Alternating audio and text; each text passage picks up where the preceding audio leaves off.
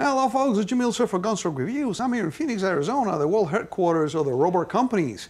I'm here with Marty, my gunsmith and advisor for a project that I have for you, buddy. What do you think? I think it's a lot of gun. It's a big, huge gun. This is actually Dave's, the guy behind the camera. He's had this thing for over 25 years, I think.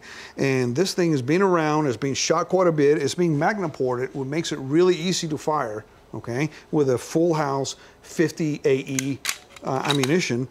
But we want to do something cool with it. Okay. Okay, and I was thinking, and that's kind of dangerous when you say me and thinking right. in the same sentence, okay? I was thinking NP3 the whole thing. Okay. It's going to help with lubricity. It's going to help cleaning it and function, right? Right. And add a couple of little touches to it. Okay. Okay. Uh, I want you to remove the sights and clean them up because there's got a couple of burrs and sure, things on them. Sure. Um, do a trigger job on it just to smooth things around. I don't want a two-pound trigger pull by no means. Right. No. Um, but I would like you to do a stipple the front strap. Okay. Okay. Maybe underneath the trigger guard. Okay. A little bit, you know, Yeah. so it's, you get a better grip on it. And I'd like you to texture the grip like you done on my On your Glock. on, on my Glock and my my um, Sig. Okay. And I would like you to texture the grip, leaving the IMI logo Okay. visible. We can do that. Yeah. And other than that, whatever you think that needs to be done to it Okay. at that point. sure.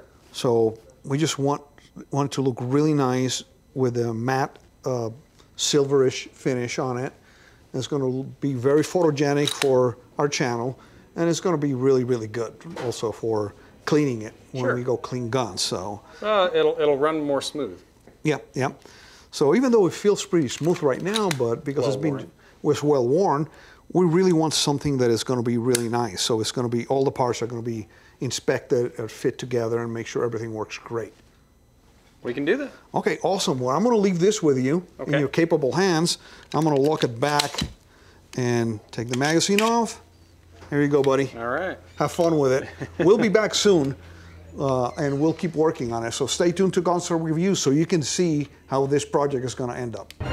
Thank you for watching Gunstock Reviews. Please visit our website at www.gunstockreviews.com for more exclusive content. Please visit our Patreon page at www.patreon.com slash gunstockreviews. Your contributions would be greatly appreciated and help us grow our selections and frequency of videos.